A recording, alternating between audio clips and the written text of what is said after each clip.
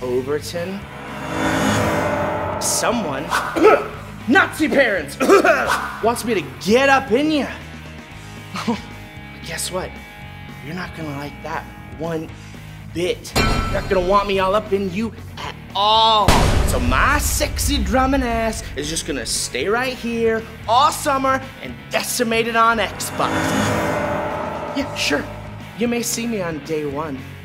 You ain't gonna see me on day two or day three, because I'm a ghost out that bitch. So guess what?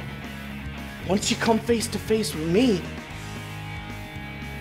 you're not gonna want me then. So, see you later, camp counselors. Suck it!